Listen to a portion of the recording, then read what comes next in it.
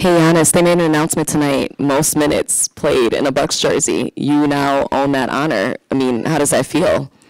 It's a great, great uh, compliment. Uh, blessed to you know have this opportunity to uh, be this position.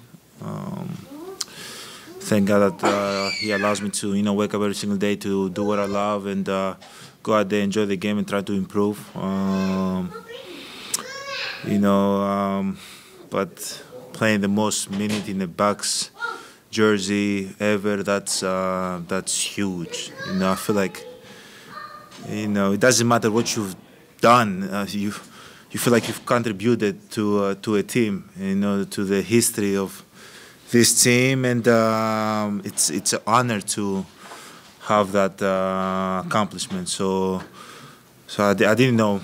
I didn't know until I heard it, but I tried to, you know, focus in the game. That's what I do. But uh, it's a it's a great accomplishment, and uh, I'm, um, I'm proud of everything and all the people that have been around me and uh, all the hard work that I've put in. And I'm happy that God blessed me with the opportunity to wake up every single day to do what I love and be good at it. You do a lot of affirmations on your social media posts. For example, your last post said, You can't skip steps, keep building. Are these things that you're coming up with? Do you look for those affirmations? I'm just curious uh, what inspires those type of captions after games. Some mental uh, reminders to myself. Uh, even when I, you know, do media, when I talk to you guys, I'm basically talking to myself, just reminding myself, uh, you know, uh, what I have to do, uh, why I do what I do. Um, that I have to improve, that I have to build good habits, that I cannot skip steps that I have to be aggressive. Usually, sometimes when I talk to people, I talk to myself just uh, so I can kind of keep reminding myself like what brought me here, um, to not take the wrong path. Uh, and sometimes I do it on social media too. Uh, no, you got it. Hey, Giannis. Um, in his post-game availability, Steve Kerr was asked about what you guys did on the defensive end that made it so difficult, and one of the first things he said talked about was Jevon Carter setting a tone for you guys, um, especially on the ball. What does what did he bring tonight that helped you guys out, and just especially stepping up with Jrue uh, sideline tonight?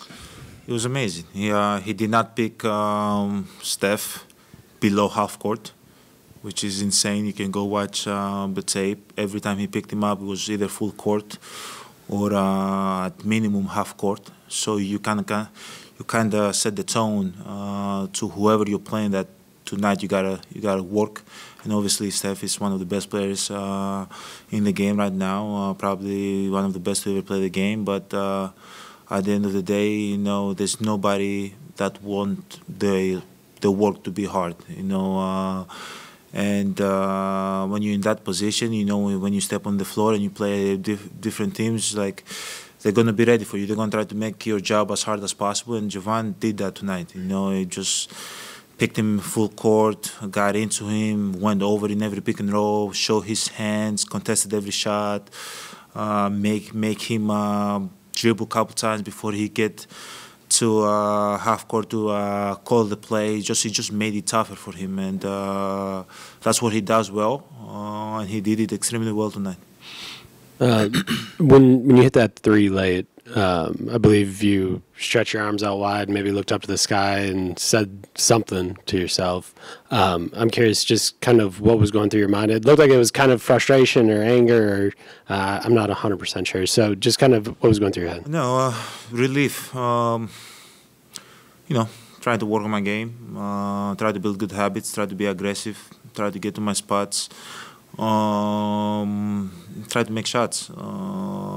I felt like there was a lot of uh, shots that I could make make today, and it wasn't going in. Um, and thank God I was able to hit that one, and I just felt relief. You know, uh, like I work extremely hard, and I I need to see the ball going.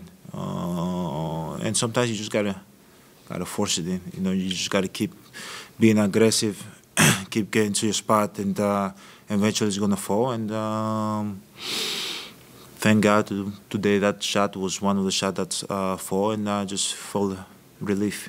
Uh, 17 free throws for you tonight. Uh, I'm curious. They didn't put Draymond on you a lot. He was typically a, a help defender. Um, I know he was very active in that role. Just what are you kind of thinking of as you're seeing those drives and them being so aggressive, kind of in those help lanes, kind of reaching in late on drives? Keep trying to make plays. Keep trying to be aggressive. Keep trying to get uh, to my spots, no matter who's guarding me. Um, I'm probably gonna face the best defenders in the league, um, the best defensive schemes, double team, wall, triple team, everybody in the paint, uh, people getting the passing lane, people trying to get in charges, but um, just keep having that mentality. Don't ever leave that mentality of getting in the paint, keep making plays, finding your teammates, being aggressive, get to your spots, keep improving your game, um, keep sharp, sharpening your tools. Um, so yeah, that's that's the answer. Um, middle of the third quarter, there was the the fan ejection, um, a 10 second, a delay a game, a technical. What was was it hard to stay focused in there? What was kind of going on, at least from your vantage point, with that whole sort of stretch? I think, but at a technical shortly thereafter too. Um, was yeah, I guess your perspective on that. Um, a lot of back and forth, um, a lot of technicals. 10 seconds violation, 3 seconds violation, delay of games. Um, what else? A lot of uh, fouls. Uh, but this is part of the game, you know. Uh, that's what the referees uh, saw, and um, you just gotta, you know, trust the judgment, keep playing the game. Obviously, it's kind of, kind of slowed down the momentum and uh, the energy of the game. Uh, but I don't think it was once. I think it was going you know, both ways. Like so, both teams kind of slowed down uh, their momentum. I feel like uh, we had momentum, we got to slow down. They had the momentum, then it slowed down for them. So, as I said, you just gotta, you know, trust their judgment and uh, keep playing the game and keep focusing things that you can control, uh, which is how you perform for your for your team and do what you can do uh, to win the game. You can't control how the game's going to be refereed, you know, uh, and how many calls they're going to be they're going to make in the third quarter. You know, we can't we can't control that, so I try not to worry about that as much as I can. Uh, you guys were able to win tonight without Jrue. Played most of the season without Khris. Just kind of maybe what stands out or uh, has impressed you about the way you guys have been able to uh, play this season with missing a lot of your, you know, some of your key guys. Obviously, Jrue is a big part of who we we are, and uh, he makes our team way better defensively and offensively. He play makes for us.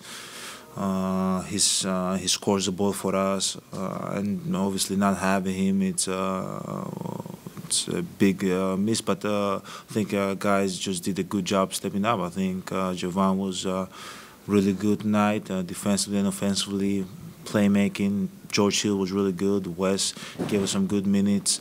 Pat was good. Like we have a lot of guys that can you know step up. We have two talented players that um, in any other team that could be really really good. They could be the go-to guys, MarJon and and Jordan.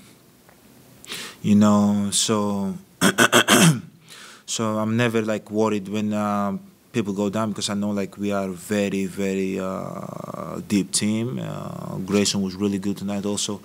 Uh, and we have arguably one of the uh, best shooter, young shooters in the league right now, AJ Green. That at any moment he can step up and make shots for the team. He did it in Orlando for us, gave us some uh, good energy, um, gave us some points, uh, knocked down shots, and kind of gave us momentum to win that game. So obviously Jrue is a very big uh, part of who we are, but our, our, team is is deep. So no matter who goes down, even if I go down or Khris goes down, like we have a really talented group that can step up uh, and help this team be great. Uh, yeah, it's going back to that incident in the third quarter um, when, you, when, you, were shooting free throws. Uh, Draymond was getting into it with a fan, and he said that the fan was threatening his life. I'm just curious, did you hear anything to that effect, or just what is sort of from your vantage point? Like, how has, has there been any issues with fan behavior? I know there was something with Russ a few weeks ago here too. Um, uh, no, I was trying to focus as much as I can, as I could, um, to make the free throw. Obviously, I was I could hear a back and forth between uh, Draymond and somebody, Um, did not hear what uh, was going on, and even if I did, I wouldn't. Yeah, I don't think that's my you know place to jump in and comment on that. But um obviously, I heard the back and forth, but I was trying to focus as much as I could to make the free throw, and I think uh, the way it's handled, um, it was very professional. You know, he maybe you know I don't know if he got as you said, uh, his life got threatened. You know, you just go to the referee and you say it, and uh, you know whoever it is, he gets uh, escorted out instead of just going back and forth with the family. Like I feel like it's not, it's not uh, worth it. You know, you can just. We have the, the, the power and in the position to just go to the referee and say like that guy is bothering me. He's, you know, he's uh, talking bad about me or whatever the case might be, and uh, immediately they're going to take action. It doesn't matter if he said something or he didn't say something. They're going to take action, and uh, they're going to kind of remove uh, the fan from that situation and the player from that situation. So um, I think the way it's set up is uh, it's good. It protects uh, the player, it protects the uh, us. but as much as I can, I just try to focus in in myself uh, and me shooting the ball in uh, 9.5 seconds and not 10 seconds in the free throw line.